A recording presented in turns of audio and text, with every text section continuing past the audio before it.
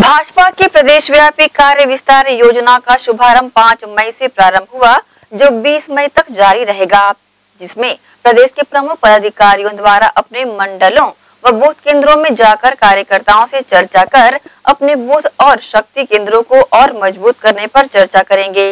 इसी तारतम्य में राज्यसभा सांसद सुश्री सरोज पांडे पटरीपार मंडल में पहुंचकर कार्यकर्ताओं को उचित मार्गदर्शन दिया। उन्होंने कहा कि बूथ जीता तो चुनाव जीता हमें राज्य सरकार की विफलताएँ, उनकी वायदा खिलाफी और केंद्र सरकार की योजनाओं के बारे में विस्तार से बताना है।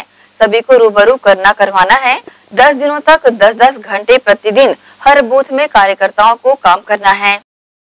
कार्य विस्तार योजना के तहत आज पटरी पार मंडल में मेरा स्वयं का आना हुआ है। भारतीय जनता पार्टी के द्वारा कार्य विस्तार योजना की पाँच तारीख से शुरुआत हो रही है, जो आने वाले बीस तारीख तक चलेगी। ये योजना हमारी, हम प्रधानमंत्री जी की योजनाओं को लेकर जनता के बीच में जा रहे हैं, बूथ पर जा रहे हैं, और हम मानते हैं कि बूथ जीता, चुनाव जीता। हमारे बूथ को मज़बूत करने के लिए हमारे भारतीय जनता पार्टी के सभी कार्यकर्ता इसमें शामिल हो रहे हैं, और आने वाले समय में हम अपने बूथ पर हमारे प्रधानमंत्री जी की तमाम योजनाओं को लेकर जनता के बीच में जाएँगे।